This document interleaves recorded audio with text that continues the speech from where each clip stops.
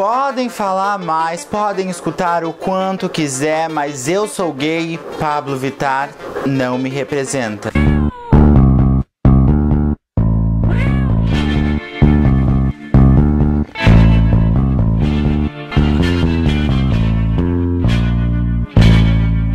Então, oi, gente. Gente bonita, seja todo mundo muito bem-vindo de volta ao canal. Meu nome é Morgana Manson e esse é o Insônia Vlogs. Aqui a gente fala sobre RuPaul's Drag Race, a gente fala sobre o meio drag, a gente faz maquiagem, a gente faz live no segundo canal, que é Insônia Game, e também lá na Twitch com o meu nome Morgana Manson. A gente joga um DBDzinho lá, então passa lá, deixa o like aqui nesse canal, segue lá que vocês vão gostar de todo o conteúdo que a gente faz aqui, certo? Hoje eu decidi vir aqui falar com vocês no papo reto sobre um assunto que é muito tem me incomodado, que é a frase Pablo Vitar não me representa. Mas antes eu preciso agradecer aos meus patrocinadores, muito obrigado por vocês estarem aqui no canal, vocês fazem toda a diferença, muito obrigado pelo apoio de sempre. Então não esqueça de virar patrocinador, virar membro aqui no canal para ajudar a gente com mais pautas para falar aqui no Papo Reto, pra gente conversar sobre isso. E se você gostar do conteúdo, por favor, compartilha ele nas suas redes sociais, compartilha com seus grupos de amigos, que isso bastante na divulgação e no engajamento. A frase Pablo Vittar não me representa tem várias variações, várias interpretações, muita profundidade e muita problemática pra gente destrinchar e a gente conversar aqui. Tolo é aquela bicha que acha que quando a gente fala Pablo Vittar não me representa tem a ver apenas com gosto musical e nada mais do que isso.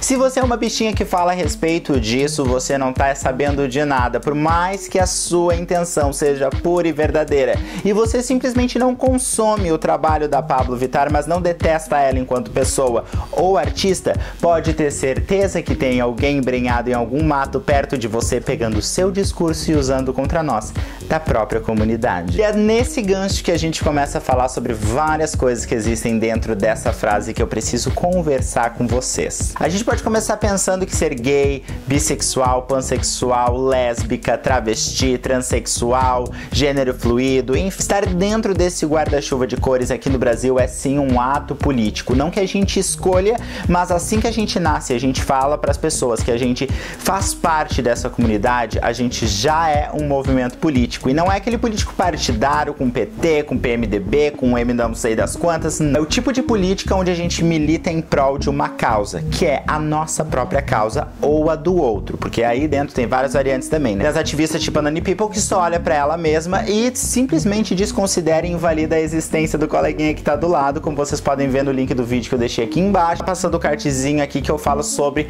a entrevista que eu achei dela no podcast dentro dessa temática de invalidar a existência alheia, que eu acho que cabe um pouquinho nesse vídeo aqui, mas eu quis destrinchar as duas coisas. Partindo então do princípio que a nossa existência é um ato político, todas as coisas que a gente fala, principalmente quando a gente fala em prol da comunidade e dentro do assunto da comunidade, pode ser usado como, digamos que um referencial teórico para quem já fez TCC, sabe? Quando a gente fala alguma coisa e usa a fala de outro como respaldo. Então, quando a gente fala que a gente não gosta de Pablo Vittar ou que Pablo Vittar não nos representa, mesmo que a gente esteja falando pelo viés da música, ainda assim vai ter conservador ou pessoas preconceituosas que vão pegar essa fala e vão dizer que detesta Pablo Vittar, que a Pablo Vittar é péssima influência, que a Pablo Vittar isso, isso, isso, isso, isso, isso, por causa da música, sabe? Fala horrores de coisa mal de uma pessoa que tá nos representando, coloca uma vírgula no final e diz por causa da música. Aí se a pessoa é questionada e diz assim, não, mas isso daí é preconceito, não é por causa da música, é porque tu detesta os gays, tu detesta uma gay feminada que tá fazendo sucesso. A pessoa, não, fulano ou fulana disse lá, ó, então eu tô junto com ela, não tem nada a ver o que, que tu tá dizendo. Vocês sabem que é isso? Respaldo político que vocês de tabela acabaram dando pra uma pessoa deslegitimar a luta e a militância da Pablo Vittar. Mas bicha, ela tá só cantando como assim militância? Lembra que eu disse que o ato da gente sair da nossa cama de manhã é um ato político, da gente existir enquanto sociedade, batendo o peito e dizer que a gente é bicha, gay, trans, todo aquele guarda-chuva, é um ato político? Então pensa numa bicha que veio de lugar nenhum, que canta com uma voz totalmente feminina, com uma peruca na cabeça, em horário nobre, se apresentando no Faustão e mostrando que a arte drag no Brasil existe existe, que as bichas afeminadas existem e que o talento tá lá independente. Se é feminada, se é gay, se é bi. Isso não é um ato político em prol da nossa causa? Aí enquanto a bicha tá lá na frente, levando tapa na cara, apedrejada, sendo vítima de calúnia, dizendo que ela tá, sei lá, transformando as pessoas em, em gays ou trans, como se fosse, né? Como se as pessoas pudessem virar gays ou trans, ou enfim. Daí existe outra pauta aí também. Tem as bichas que vão para as redes sociais e usam suas plataformas para de alguma maneira querer passar uma heteronormatividade ou um machismo e dizer que Pablo Vittar não representa essas pessoas. Porque existe o discurso superficial da música, mas por dentro as pessoas se usam desse discurso para dizer que é fora do meio, para dizer que é super machão e que tipo não é porque é gay que eu escuto Pablo Vittar, então por isso eu sou melhor que as outras pessoas porque eu não sou afeminada. Sabe esse discurso podre de grinder que a gente acha? Pois é, a gente tem por aqui também disfarçado de gosto musical, sabe? O que eu vejo na ponta desse iceberg é o gosto musical, mas depois tem várias coisas podres por debaixo, assim, da própria comunidade LGBTQI+, que não ajuda a própria comunidade LGBTQI+, porque tá tudo bem não gostar da Pablo por uma questão de música, sabe? Não consumir o trabalho da Pablo por questão de, ah, não gosto do timbre de voz, acho que ela desafina, acho que ela... Gente, cada um escuta o que quer. Agora é diferente eu escutar o que eu quero, é diferente eu me manifestar contra uma pessoa que tá dentro de um movimento político me ajudando para invalidar o, o, trampo da bicha. Isso é um desserviço, isso é uma canalice, isso é uma coisa burra, isso é um tiro no pé. Então a bicha que vai pra mídia, e quando eu falo mídia eu falo Facebook, Orkut, Grindr, Twitter, falar que Pablo Vittar não me representa, acho bem problemático. Se vai falar do gosto musical, eu acho que poderia ficar quieto, sabe? Quando não tem nada de bom para falar, fica quieto.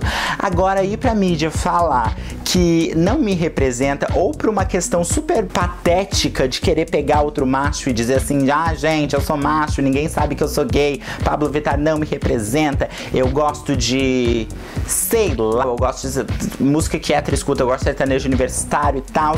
É, é, um, é um descompromisso, é uma coisa feia, é uma coisa bizarra e daí achar outras pessoas que ficam todo momento querendo falar que a Pablo Vittar não canta bem, que a Pablo Vittar isso, que a Pablo Vittar aquilo, atacando gratuitamente uma bicha que tá lá ajudando a gente, eu acho que também é canalice, por mais que seja gosto pessoal, só não escuta, bicha, sabe? Por mais que você não se identifique com nenhuma dessas pautas. Não, não é porque eu quero passar por machão, não, não é porque eu quero deslegitimar o trabalho dela, é só porque eu não gosto mesmo do timbre dela, não gosto da música dela, acho que não é legal, é só não escutar. Não tem motivo de ir pra rede social falar que não gosta da Pablo e atacar uma pessoa que está nos ajudando. Porque a Pablo não é só a voz, é artista, é o movimento político, é a pessoa que está dando a cara a tapa.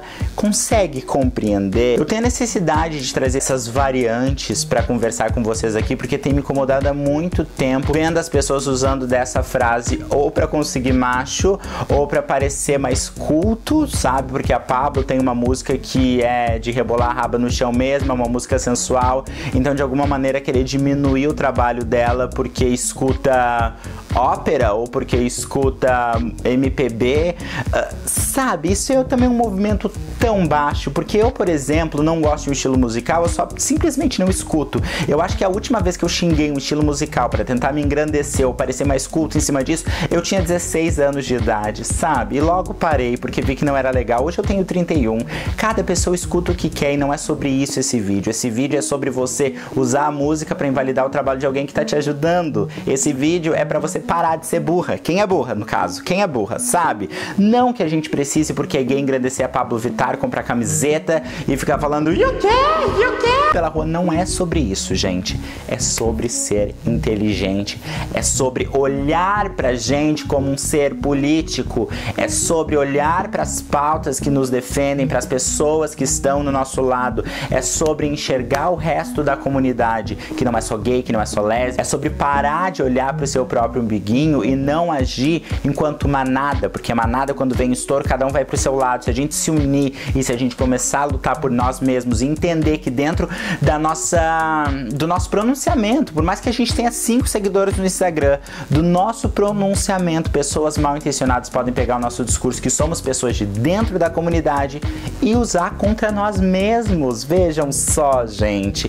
Então vamos cuidar com o que a gente fala. E se são coisas que podem de alguma maneira ferir a gente de volta, vamos ficar quieto. Gente, então esse foi o recadinho da mamãe Morgana Manson de hoje para vocês nunca mais falarem que Pablo Vittar não representa vocês, repensarem muito mais antes de abrir a boquinha para falar sobre isso dentro da comunidade, tá?